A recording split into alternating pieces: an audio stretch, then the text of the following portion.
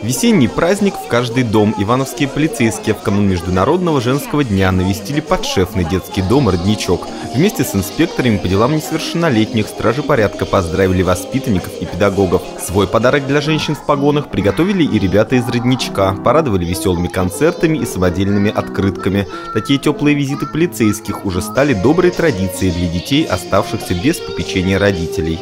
Начинается весна не с цветов, есть тому очень много причин. Начинается она с добрых слов, с блеска глаз и улыбок мужчин. А потом зазвенят ручейки, и подснежник в лесу расцветет. А потом уж кричат грачи, и черемуха снегом метет.